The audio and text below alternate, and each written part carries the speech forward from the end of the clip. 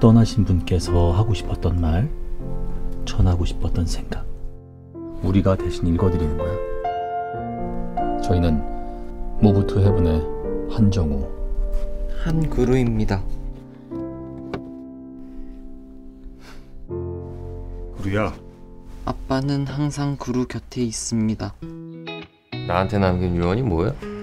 조상구 씨가 한그루군의 후견인이 되어주길 희망하는 유언서를 남겼습니다.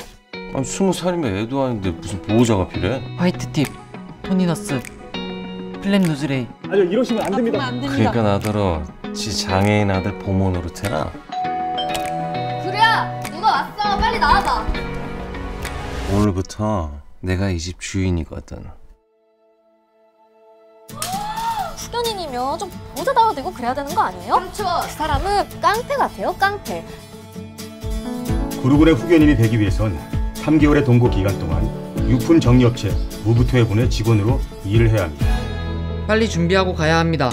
의뢰가 들어왔습니다. 일? 그 시체 처리지 뭔지 그거 말하는 거냐? 유품 정리거든요 이거 현장이야? 괜찮으십니까? 저게 괜찮냐? 현장은 돌아가신 분들 집입니다. 그분들이 정리할 수가 없어서 저희한테 부탁하신 일입니다. 저는 고인의 유품을 정리해 드리러 온 무브투 헤븐의 한 그루입니다. 이제부터 마지막 기사를 시작하겠습니다. 왜 시키지도 않은 짓을 하고 그래? 가족도 안 가져가는 쓰레기를 가져가서 뭐 하려고 사랑하는 분에게 남기신 편지가 있습니다.